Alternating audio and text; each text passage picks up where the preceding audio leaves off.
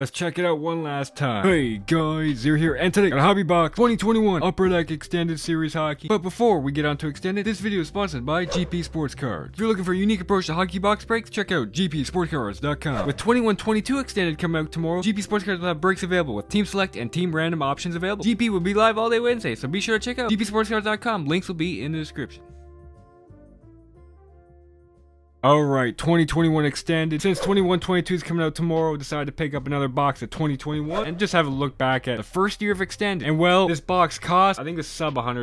It was a little over $100 after taxes. There's not a whole lot in here. It's aggressively not great. As for the Young Guns, here is the best Young Guns right now. Michael Bunting Young Guns is sub $20 right now. Calder finalist, he's gonna have a canvas Young Gun in 2122 extended. We'll get into 2122 when it releases tomorrow, but yeah, here's the list of 2021. There's 30. There's gonna be 50 for 2122, but the 30 there. Kaliyev is a sub $10 card now. There's also some guys that still have potential, like a Rathbone, a Hofer. Logan Stanley looks like a pretty decent defenseman there, so it's rough. And in retrospect, with 2021 extended, this whole product seems like an afterthought. Fortunately, 2122 seems more fleshed out, but the offering really isn't that great in here. A lot of retro inserts in which the design's the exact same as what they were modeling the cards after, but I mean, I guess the Lafreniere image variation is a cool pull. Yeah, there are some cool pulls in here, but they are very tough. So let's check out 2021 again. Let's get right into it. Okay, extended. Also, you should know the drill by now, but yeah, six Young Guns in here, plus a 506 Tribute Young Guns, so maybe we get a quality name there. 2122 will have 607 tributes, so let's check out 2021 once again. Here we do have a Young Guns first pack, so I've seen this base a lot. I've opened a ton of loose packs of this stuff. There's the first Young Guns, Jake Bischoff Young Guns, so a lot of commons in here. There is Bischoff. Almost this whole crop is just a bunch of depth players. Fortunately, with 2122, it definitely seems to be a stronger crop with more worthwhile players. I mean, they could have just put like the best dozen players into SPA like they've always done, but extend is the thing now. Oh, there is a Logan Stanley rookie class there. Okay, there will be canvases in 21-22. Also, we got an Ultimate Victory, Jake Oettinger, decent name there, and then we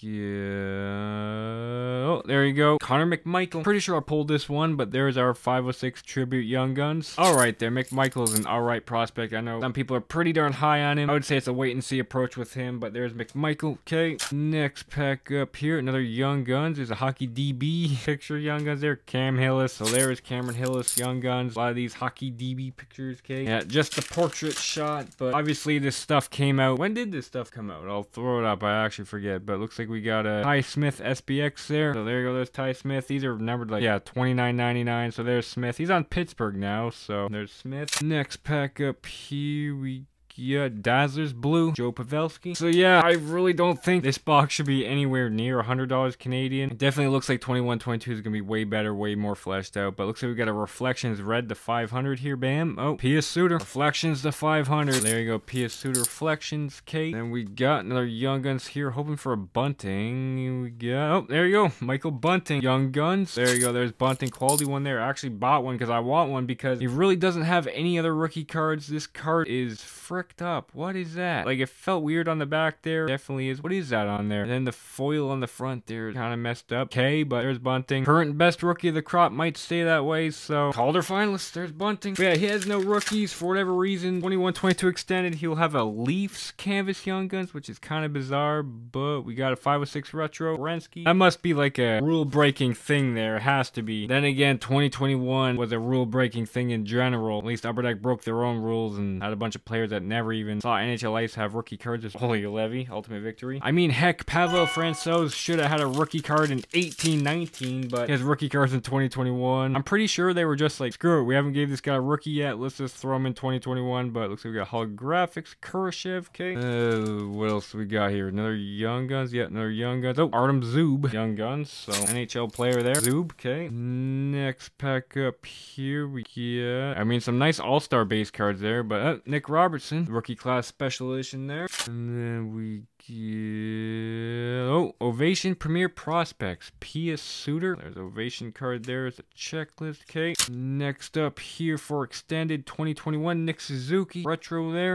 We got another Young Guns here. Who is it of? It is Holtz Young Guns, so not a great one there. There is that. Also, the quality is really not great. Hopefully 2122 is better. Uh, we got another Young Guns here. Maybe get a Young Guns exclusives in one of these packs. There's Cory Schneider. Okay, but hey, French Young Guns, Patrick Khodorenko. So there's Khodorenko. Not a great one, but hey, French Young Guns, I'll take it. So there you go, there's Khodorenko. I mean, this product would probably be seen as a product of its time, considering when it came out. I think Upper Deck has gotten their crop together better this year than last year. Like, last year is probably at its very worst, but that clear cut? Wait, no, we have something stuck here. Wait, what? Uh, wait, oh, there we go. Never mind. Mitch Marner, Ultimate Victory. We got five packs left here. We got Reflections, Victor Soderstrom, okay. We got four packs here, another Young Guns, Logan Stanley. There's a good one there, Logan Stanley Young Guns, big defenseman there. NHL regular, so hey, I'll take that. As we open the final three packs. Okay, we yeah. Oh, Jack Hughes, retro. Two packs left here. Do we have anything in these final packs for, hey, is that really a base pack? Yeah, that's a base pack. Okay. Gonna be something in this one here. I feel like we've definitely gotten enough Young Guns. There's definitely something different in here. A red card. Uh, looks like it's a holographics gold perhaps in here. There's, oh, Tim Stützle. Holographics gold. Half decent pull there. So there is Tim Stützle holographics gold to finish off the box of extended yeah, guys, there's a box of 2021 extended. I mean, for 2021 here, hobby boxes should be like 50, 60 bucks. I'd feel like that'd be a reasonable price for this. The upside is just not there. I do like the 506 Tribute Young Guns, but it looks like 2122 extended is gonna be much better, and I hope it is, but stay tuned for that. And As always, thanks for watching. I'll see you guys later.